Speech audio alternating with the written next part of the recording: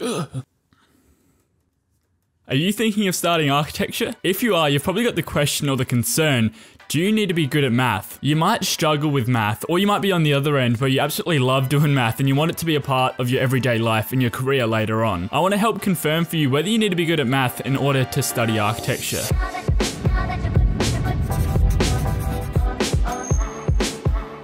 Hey guys, what's going on? My name's Kyle. I want to split this up into two parts. First of all, do architects need to be good at math? And secondly, do you need to be good at math in order to study architecture? So for the first question, it's pretty well known that architects need to be good at math.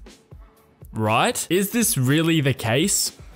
Well, Yes, architects do need to have some general knowledge in mathematics. There are times where you need to calculate stair rises and goings, how long a wall should be in terms of what material you're using. For example, if you're using a brick, you can't just go saying that the wall was going to be 5 meters long. You need to work out a length for that wall that accommodates the length of a brick. But this is some very, very basic mathematics. It doesn't take a math specialist to work out how many bricks fit into a 5 meter wall. Therefore, you need to understand some basic mathematic arithmetic, nothing more advanced than what you learn in your first years of schooling. You don't need any calculus, you don't need any trigonometry, unless you want to be an architectural engineer. In that case, then yes, you need to be good at math. So does being good at math make you a better architect. Sure, having knowledge in math is going to help you. Being good at math is all about solving problems and requires deep thinking. And this is inherently what architecture is all about, being a problem solver. Does being bad at math make you worse of an architect? No, it does not.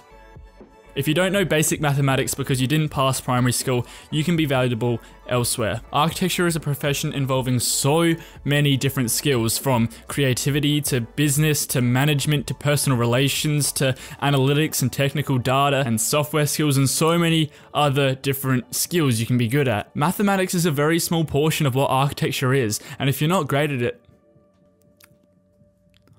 Mathematics is a very small portion of what architecture is, and if you're not great at it, you have specialists who can help you out with that anyways in the profession, or you have people in the office with you who can help you. So architects do need to have some very basic mathematic knowledge. But do you need to be good at maths to study architecture. You don't need to be good at math to study architecture. Let me explain. Already being good at math is going to be beneficial, sure, but you can enter architecture school with no previous knowledge. The reason for this is because there are no prerequisites to study architecture in Australia anyways. You don't need to complete any previous math courses in order to study architecture. And because there are no prerequisites, it's assumed you know nothing at all. It's expected you learn everything along the way. You don't need Pythagoras, you don't need calculus, you don't need trigonometry. Having these things and challenging yourself in high school is definitely not a bad idea. Studying the more difficult mathematics in these previous years before university is going to be beneficial, sure, but you don't need to be particularly skillful in any of these to get started in architecture. It's expected you learn everything in your degree, and if you are willing to learn with an open mind,